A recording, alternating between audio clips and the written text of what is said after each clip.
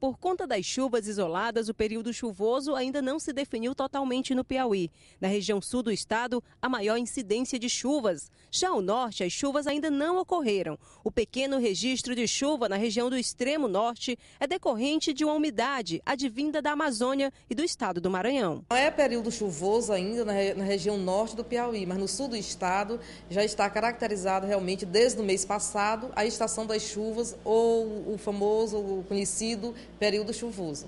É, é, é climatológico que as chuvas lá começam no mês de novembro, sendo que a previsão que todos os centros de meteorologia indica indicam é de chuvas abaixo da média até o mês de fevereiro. Ou seja, novembro, dezembro, janeiro, dezembro, janeiro e fevereiro, a soma do total de, de, desses meses deve se comportar abaixo da média. De acordo com as informações da Secretaria Estadual de Meio Ambiente e Recursos Hídricos, o período chuvoso no Piauí será bastante irregular. Há possibilidades de chover bem em um mês e no outro chover pouco ou quase nada. Segundo a previsão meteorológica, a irregularidade está relacionada com a quantidade e com a qualidade das chuvas. Deve chover no município, no município vizinho não chove, ou até dentro do próprio município, como é o caso de uma extensão, de grande extensão, como é o caso de Uruçuí, por exemplo, que no dia 30, num só dia, choveu 120 milímetros.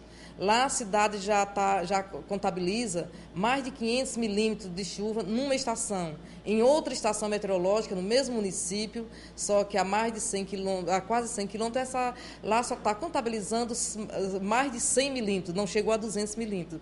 Então, você vê como é a irregularidade espacial, temporal e ainda no que diz respeito à quantidade, é, a irregularidade é grande dessa chuva no estado do Piauí.